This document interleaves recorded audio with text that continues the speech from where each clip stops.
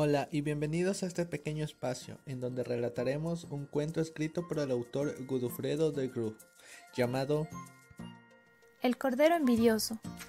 El corderito en cuestión vivía como un marqués, o mejor dicho, como un rey, por la sencilla razón de que era el animal más mimado de la granja. Ni los cerdos, ni los caballos, ni las gallinas, ni el resto de ovejas y carneros mayores que él disfrutaban de tantos privilegios. Esto se debía a que era tan blanquito, tan suave y tan lindo, que las tres hijas de los granjeros lo trataban como un animal de compañía que malcriaban y concedían todos los caprichos. Cada mañana, en cuanto salía el sol, las hermanas acudían al establo para peinarlo, con un cepillo especial untado en aceite de almendras que mantenía sedosa y brillante su rizada lana. Tras ese reconfortante tratamiento de belleza, lo acomodaban sobre un mullido cojín de seda y acariciaban su cabecita hasta que se quedaba profundamente dormido.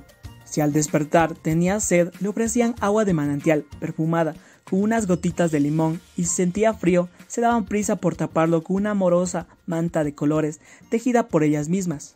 En cuanto a su comida, no era ni de lejos la misma que recibían sus colegas, cebados a base de pienso corriente y moliente, el afortunado cordero tenía su propio plato de porcelana y se alimentaba de las sobras de la familia, por lo que su dieta diaria consistía en exquisitos guisos de carne y postres a base de cremas de chocolate, que endulzaban aún más su empalagosa vida.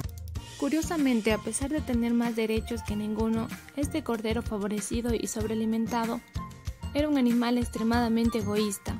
En cuanto veía que los granjeros rellenaban de pienso el comedero común echaba a correr pisoteando a los demás para llegar él primero y engullir la máxima cantidad posible.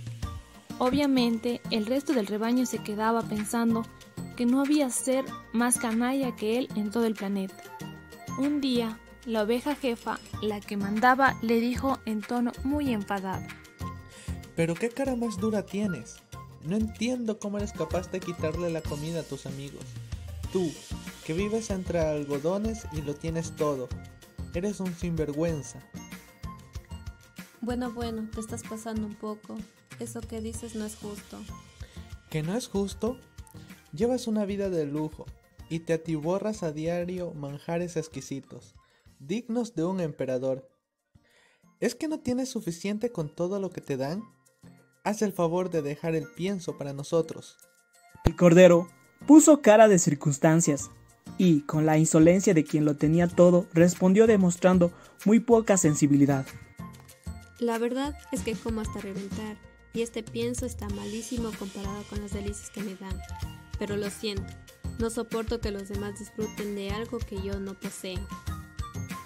La oveja se quedó de piedra pomes. ¿Me estás diciendo que te comes nuestra humilde comida por envidia? Quieres llamarla envidia, me parece bien. Ahora sí, la oveja entró en cólera. Muy bien, pues tú te lo has buscado. Sin decir nada, más pegó un silbido que resonó en toda la granja. Segundos después, 33 ovejas y 9 carneros acudieron a su llamado. Entre todos, rodearon al desconsiderado cordero. Escuchadme atentamente. Como ya sabéis, este cordero repeinado e inflado a pasteles se come todos los días partes de nuestro pienso. Pero lo peor de todo es que no lo hace por hambre, no. Lo hace por envidia. ¿No es abominable? El malestar empezó a palparse entre la audiencia y la oveja continuó con su alegato. En un rebaño no se permite ni la codicia ni el abuso de poder. Así que, en mi opinión, ya no hay sitio para él en esta granja. Que levante la pata quien está de acuerdo con que se largue de aquí para siempre. No hizo falta hacer recuento. Todos sin excepción alzaron sus pezuñas ante un resultado tan aplastante. La jefa del clan determinó su expulsión. Amigo, esto te lo has ganado tu celdito por tu mal comportamiento. Coge tus pertenencias y vete. Eran todos contra uno, así que el cordero no se atrevió a rechistar. Se llevó su cojín de seda oriental como único recuerdo de la opulenta vida que dejaba atrás y atravesó la campiña a toda velocidad.